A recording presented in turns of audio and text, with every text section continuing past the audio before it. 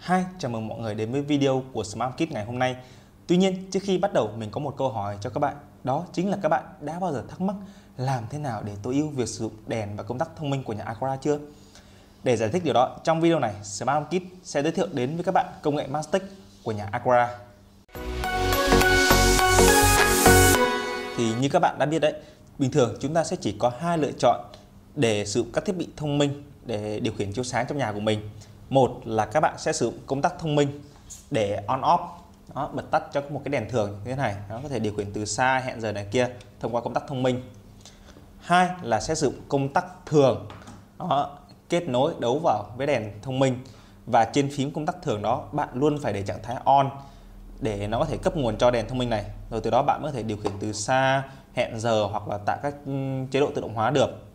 Thì như vậy sẽ khá bất tiện cho các thành viên trong nhà của mình những người không quá am hiểu về công nghệ như người lớn tuổi này hoặc con nít đó, khi các bạn chọn phương án 2 thì như vậy sẽ thành ra khá là bất tiện.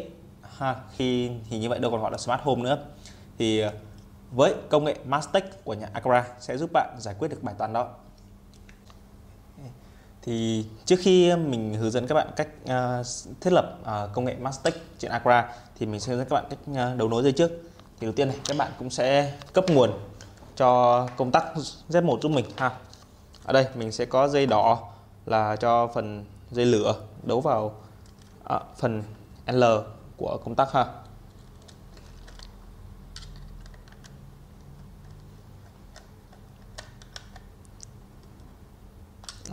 và dây xanh đây sẽ là dây nguội đó, đấu vào chân N của công tắc Đó.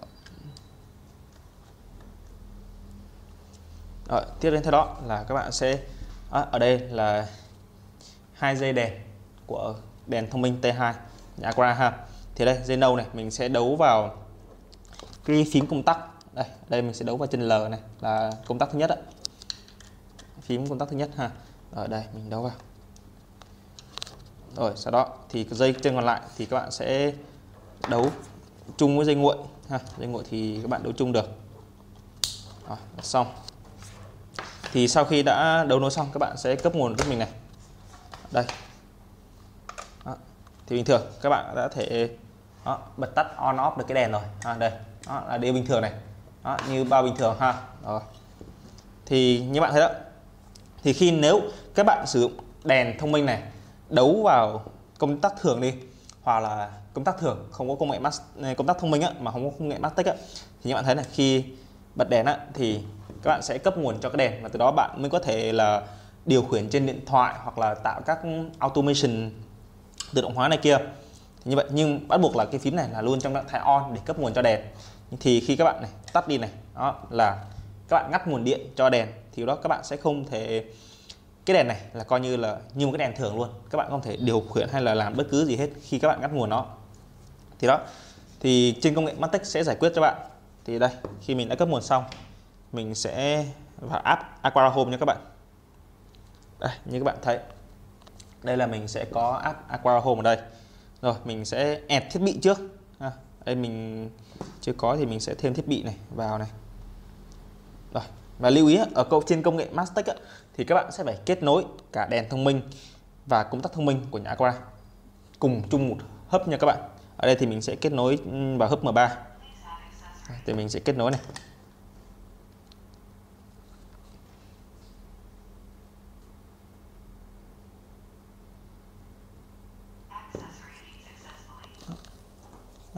Thì ở đây thì ờ, kết nối như bình thường thôi thì các bạn có thể vào trang web của Smart Home Kit hoặc là vào kênh YouTube để các bạn có thể coi lại các video về hướng dẫn kết nối các thiết bị như đèn thông minh hay là công tắc thông minh của nhà Aqua ha. Đây mình sẽ làm nhanh, bỏ qua trước cho các bạn để hướng dẫn các bạn kết nối Để như thế ha. À, bật tắt bình thường thôi. Rồi trên đèn này các bạn cũng sẽ phải đèn thông minh của nhà Aqua ha.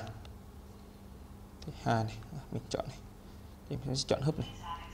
À, đây mình kết nối trước mình kết nối nhanh ha.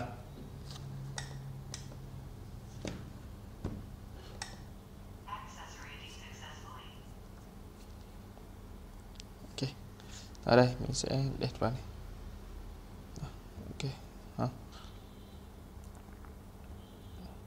rồi à, thì các bạn này như bạn thấy đây, khi các bạn này trên công tắc luôn trạng thái on á, thì lúc đó các bạn mới có thể điều khiển được cái đèn thông minh này của mình này như bật tắt này kia. Còn khi các bạn này tắt đi ha thì đó các bạn sẽ không thể điều khiển được cái đèn thông minh nữa. Thì sau khi các bạn đã kết nối thành công giữa công tắc này đó, và cái đèn của bạn rồi và các bạn sẽ phải chọn uh, vào cái công tắc của mình và chọn vào mục ờ, uh, 3 chấm đây để vào mục device setting. Thì các bạn thấy này ở đây sẽ hiển thị là Mastec ở đây. Bạn chọn vào và đây vì là công tắc của mình là phiên bản hai nút thì nó sẽ hiển thị hai nút đây. Và các bạn sẽ nhận này là nút nào các bạn muốn ờ, thực hiện cái công nghệ Mastec thì các bạn sẽ chọn vào. Và đây sẽ có ba lựa chọn các bạn một là normal low hai là intelligent low và là Bose control. Thì ờ, trước mắt bên team Smart Kit ấy, thì ờ, mới tìm hiểu hết được hai cái phần trên là normal và intelligent thôi. Còn Bose thì mình ờ, bên team Smart Kit sẽ nghiên cứu kỹ hơn và sẽ ra một cái video sau để nói rõ hơn về cái này. Còn trước mắt á, thì về phần normal low ha thì nó chính là cái phần mà tiếp điểm relay đóng mở bình thường các bạn hay xài là để on off bình thường này. Đó là khi các bạn bật tắt ha là cái tiếp điểm bên trong relay của cái công tắc sẽ đóng mở đóng mở là để các bạn uh, đóng ngắt cái phần nguồn truyền tới đèn. Đó, từ đó là on off bình thường. Còn khi các bạn chọn intelligent low này.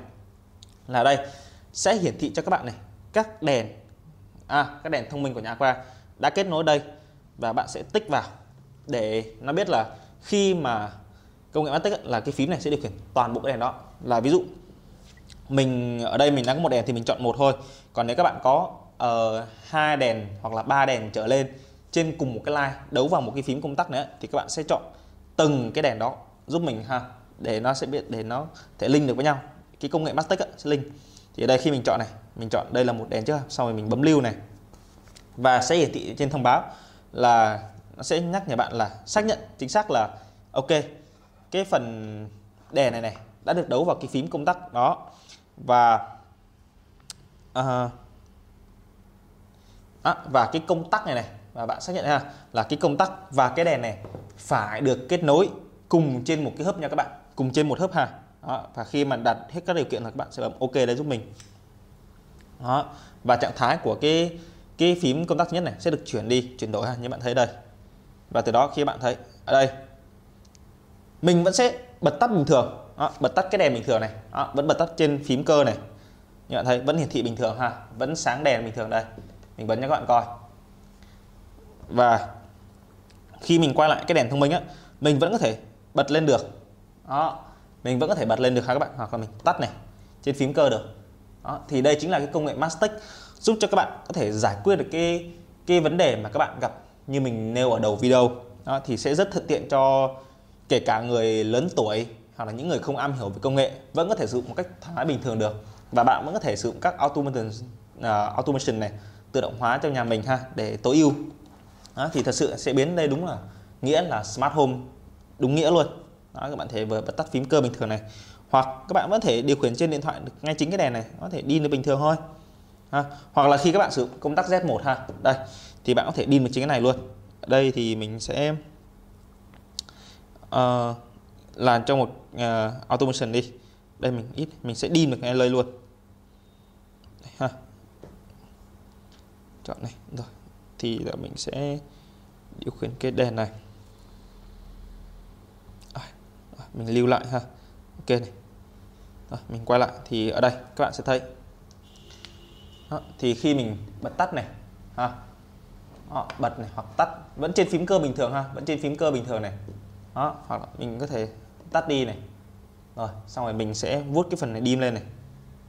Đó, các bạn thấy không? Vẫn đi bình thường. Đó cái công nghệ mastic sẽ giúp cho bạn các bạn này tối ưu được uh, tối ưu chức năng sử dụng giữa công tắc thông minh và đèn thông minh của nhà Aqua như bạn thấy đây. Rồi, tắt đi. Đó.